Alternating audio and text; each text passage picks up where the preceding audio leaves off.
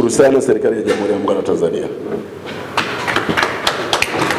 Tarehe 21 mwezi jana nilikuwa mgeni rasmi wa mahafali ya kidato cha sita Sebama sekondari. Sebama sekondari security sijui. Kwenye risala yao vijana waliomba, tunaiomba serikali ya Jamhuri ya Muungano wa Tanzania wanafunzi wote wanaomaliza kidato cha sita waende jeshini. Wangapi wameenda jeshini hapa? Wangapi wameenda jeshini? Unaona ni wachache. Sawa, kila la heri. Tulioenda jeshini tumekaa mwaka mzima, ni tofauti na wanaokwenda miezi mitatu. Katika kujibu risala, na mimi nikawaambia hivi, ni kweli taifa limefanya makosa ya kiufundi. Kitendo cha kuchukua wanafunzi wachache kwenda jeshini kimsingi limerudisha nyuma dhana nzima ya uzalendo, hata uchumi, hata swala la ulinzi na usalama limerudi nyuma. Nikatoa mfano wa Israeli. Israeli unakwenda hatua kwa hatua jeshini kulitumikia taifa la hatua kwa hatua tangu unazaliwa. Sisi wa Tanzania hapa shetani alipita, tukaona si, tukaona si, si jambo jema.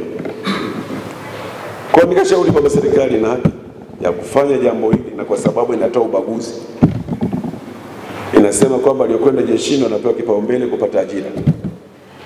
Ni wangapi wanakwenda wanapata wanakwenda jeshini? Waliosoma huko waliosoma huko lupa tingatinga, utakuta shule na wanafunzi watano na kwenda watatu, na wanasema ajira ni kwa wale ambao ajira ya vyombo vya ulinzi na usalama ni wale ambao wamepitia JKT.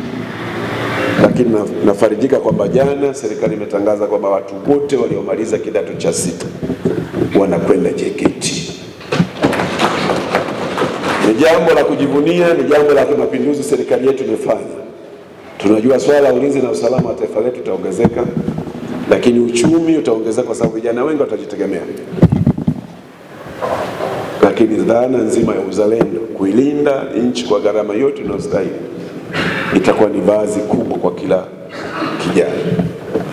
Pamoja na hayo, nitumie jukwaa hilo kuiomba serikali ijenge kambi kubwa la JKT mkoani Mbeya na kipekee Chunya.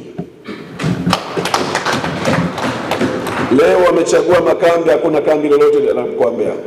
Tuna makambi mawili madogo, tuna kambi la Itende, tuna kambi la la Uyole kwa ajili ya ujenzi,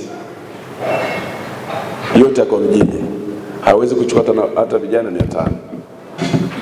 Wanachunya mwe tayari na ni, vizuri. Katibu wa Chama cha Mapinduzi la Chunya, kama serikali italeta jukumu la kujenga JKT katu, itakwenda kambi la JKT, muwe tayari kutoa hata ekari elfu tano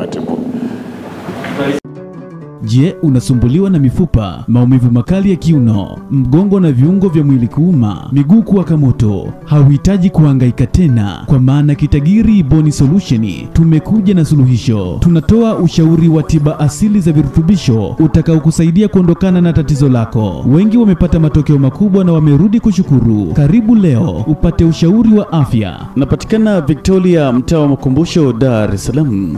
Instagram tunapatikana kwa jina la Kitagiri Bone Solution au wasiliana nasi kwa namba 0685555184. Wote mnakaribishwa.